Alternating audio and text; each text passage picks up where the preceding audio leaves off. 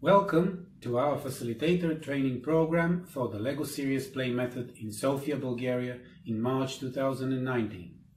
In case you are aiming for an innovative approach on business strategy, interested in delivering custom-made workshops, exploring new market opportunities, creating effective communication between people, or becoming the change agent that makes a difference, then you must be interested to become a facilitator of the LEGO Serious Play method. LEGO Serious Play, LSP for short, is a facilitated method for creative thinking and problem solving of real issues and challenges in real time.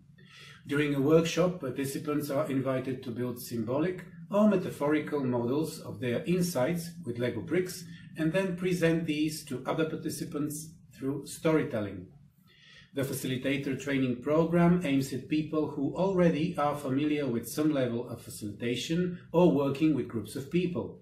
It is a perfect fit for professional consultants, coaches, trainers, educators, researchers, in-house trainers, learning and development specialists, HR professionals, and team leaders.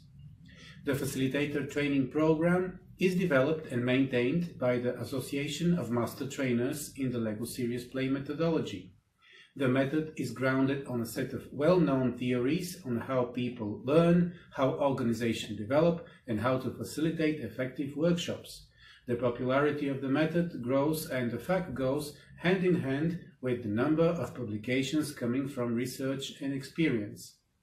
The method is used in a wide-ranging variety of organizational, team and personal challenges, including strategy development, mergers, team development, market exploration, and other demanding organizational change and renewal processes, like design thinking, exploring business models, and coaching.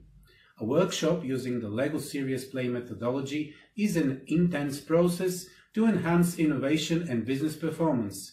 It indicates that a learning process through LSP creates deeper meaning of understanding of the work done.